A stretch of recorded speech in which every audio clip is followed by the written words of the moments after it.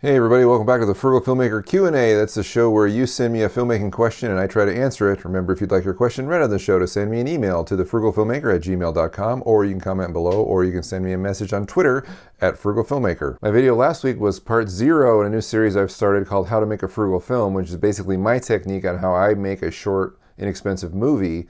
And in this part, I actually talk about audience creation or how you might want to cultivate an audience before you actually start making movies. That way, when you do have a movie to show, you've actually got eyeballs ready to watch it, something that extends beyond your friends or family.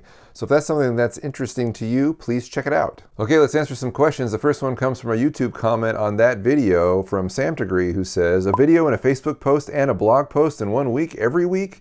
Now that's a full-time job, man. Seriously, how on earth do you realistically suggest people do that while living a normal life? This is a really good question. Just to recap in that video, I challenge everyone watching it that if you were to create a video and a Facebook post and a blog post every week for the space of a year, that at the end of that year, you would have generated some kind of an audience that would be ready to watch your work. And that is a big challenge, I admit. It is hard to do. It is hard to do something on a consistent basis, especially when you're talking about making videos or maybe detailed blog posts. Now, I didn't really say how detailed or how intricate these things had to be because they really don't. They could be as large or as small as you're willing to make them, but they do take work and they do take effort. And doing things on a regular basis is really a challenge, as Sam Degree points out here. How do you do this while you're living a normal life? How do you do this while you have a full time job? Well, I can tell you how I did it uh, which was when I was in school. When I started this, I was actually doing all my videos at night when everyone was asleep. So I was putting in some crazy extra hours and I was shooting things in all my spare time. And basically all the time that I wasn't focused on my regular life, I was focused on making movies or making videos or blogging or doing stuff on Facebook. And it's no secret that it takes a lot of hard work and effort and time to accomplish anything with this method because you're not going to be an overnight success in anything that you do and there's no guarantee you'll have any kind of success. However, I think my point in the video was is that if you were to do these things on a regular basis, you would have some kind of an audience when you were done. I wasn't specific on how large an audience because of course that's impossible to predict, but you would have a core group of fans that were interested in what you were doing, even if what you were doing isn't necessarily super great, but it would be something that you were developing and you were learning and you would just get better over time and your fans would be there to support you. And even though it might appear there's a glut of stuff on the internet and you just think there's no way I'm ever going to get noticed because there's just millions of people out there making videos, but I believe that you'll have a small group of interested people that will not only be willing to watch your stuff, but support you in other ways. It just depends on how much work you're willing to put into this. And even though it might seem futile at times, it will always be satisfying to you to just produce things that you really like, and hopefully that will translate into maybe something more. Again, no guarantees, but I encourage people to do this because that's something that I've done that I've seen enough success at that I think it's possible to achieve greater success. It's just all stepping stones and it does take time and effort and a lot of patience.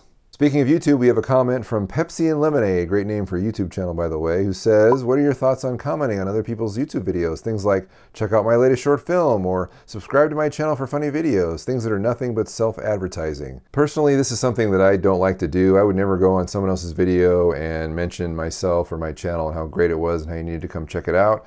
Even if it was kind of an honest plea and not being obnoxious. I don't think it just works that well. I don't know how many people are really motivated to click on your YouTube channel based on you saying, hey, come and watch my stuff. I think a better technique, if you're going to go this route, is to just comment on other channels or other videos. And when people see that maybe your comments are intelligent or you have really something interesting to say, they will then go to your channel to check it out and see where that interesting perspective comes from. I think that's a better technique than just bragging about how good your stuff is or just a call to action to come see or come watch your stuff. I don't think that really works as well. It's not something that I do. Another way, obviously, is just to make good content and then word will get out, hey, this is a really interesting channel or this is a really interesting filmmaker, and people will then come to you that way. Recently, I saw a video on YouTube with an interview with Steve Martin who claimed one of his secrets to success was that he would just do things that people couldn't ignore. And that's definitely true on YouTube. And even though you might never have a viral video, I've never had one, um, but you might do something that gets passed around because it generates some interest or something different or something unique. I think there's a much better way to get people to come to your channel and watch your videos than just to say, come to my channel and watch my videos. Okay, next up is Mr. Pefsky who says, What's that behind you over your left shoulder? It looks like a change counter or a plastic Nerf gun. Well, Mr. Pefsky, it is a plastic Nerf gun. This is actually a prop that I made for a movie. I actually had to make four of these uh, for a short film or a thesis film a friend of mine made called Perfect Machine. It was a dystopian future uh, sci-fi short. And uh, this is the Nerf Rough Cut, ironically enough. And he wanted these, he picked these out, and he wanted these colors, which were very dystopian, of course, black and gray. I've used that uh, color scheme myself. He wanted LEDs to be here, and also an LED in each barrel. There are eight barrels, so I have some LEDs in here. As you can see, it still works. There's actually a 9 volt battery right here powering all of this. Uh, it's actually loose now. I hot glued it into place, but it's loose. Um, so you can see all the lights uh, work and this was as well as the action here. So this was kind of a stun gun type of a thing that some soldiers carried that I made and this is the prototype. Now to get this color scheme to adhere to this plastic, this is actually spray paint. Um, and I've since learned a better method of painting plastic Nerf guns or any kind of prop plastic weapons that you want to make look sci-fi-ish or, or otherwise. And that's because I came across a video on YouTube or a channel on YouTube called Coop772. Maybe you've heard about it if you're a Nerfer. Um, and I'm not a Nerfer, but in doing research after the fact, after I'd built this, I came across this channel. And uh, he has a much better way of painting plastic for this type of a thing for movie props or whatever. So uh, check out his channel. I'll leave a link down below in the description, definitely. Uh, he uses vinyl dye, which is out of a spray can, which is like spray paint, only it sticks a lot better. Our final question comes from email from Eric Barnhill, who says, I notice you have ads on your blog. How do you get paid for that? Is that affiliate marketing? How would you suggest getting started in getting paid for ads on a blog or a website? Well, you are correct, Eric. It is affiliate marketing. I am an Amazon affiliate and I'm an eBay partner, as well as being a YouTube partner, but that really doesn't make any difference anymore because everybody gets paid for YouTube videos if you so choose to monetize them. I do have a link that goes to Amazon and a link that goes to eBay, and if you go through those links, you can help support me because everything you buy when you're going through those links will I will get a small percentage of.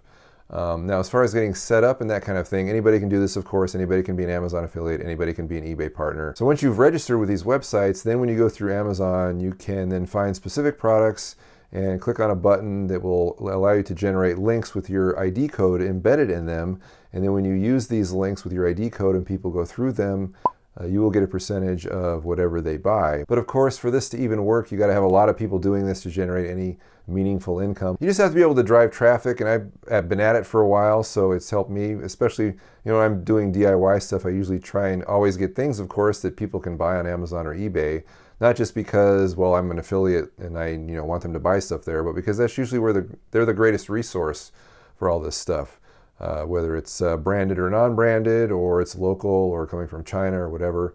I can usually find various parts. Even here in Alaska, they can send stuff to me and I can put stuff together and then describe how I made it and then get a parts list and have most of the stuff coming from Amazon or eBay or your hardware store or whatever. But that, that's what I do. One thing I'm trying out, which I think is a little bit different than what most other web pages do or other blogs, which is in most blogs, they'll say, you know, click here to check out this equipment list and see the things that I use, and then you can purchase things from that list.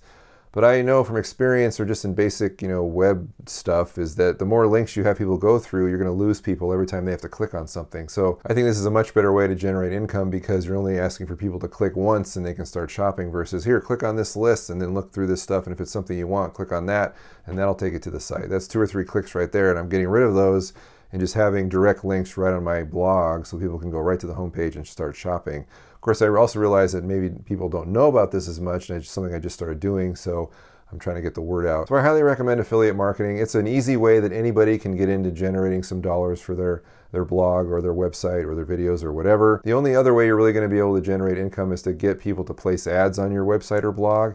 And to do that, you're going to have to have some numbers behind what you're doing. If you're just starting out, there's no way you're going to have enough traffic to try and court some kind of advertiser to place advertisements on your on your blog. And usually they won't pay you anyway. They'll ask for some kind of trade. You know, you'll get X number of credits for whatever our service is um, or something like that. They'll really give you money. I've had a hard time getting people to give me money to put ads on my blog. So I'm going the affiliate route and hitting that pretty hard, and that seems to have worked for me fairly well. Again, not so much that I can live on, but enough to say pay rent. And that's all the questions we have today. I'd like to thank everyone for writing in, of course. I appreciate the emails and the comments and the tweets and anything else support-wise or question-wise you guys might have for me.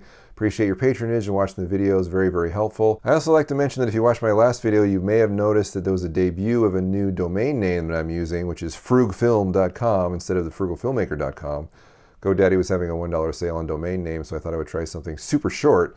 TheFrugalFilmmaker.com has a lot of syllables in it. Frugfilm.com is much shorter, so I thought I would try it and incorporate it in my videos, and it's much easier to spread around. And if people are familiar with the blog, they know what it means anyway. If they don't, maybe it's not such a good move, but the other address is still active and always will be. At any rate, if you've got a question and you'd like it read on the show, please send me an email to thefrugalfilmmaker at gmail.com. That's your best chance you have getting your question read on the show, or you can leave a comment below, or you can send me a message on Twitter at Frugal Filmmaker. Now there will be an official Frugal Filmmaker video this Friday and another Q&A on Tuesday, so we'll see you then. Bye-bye.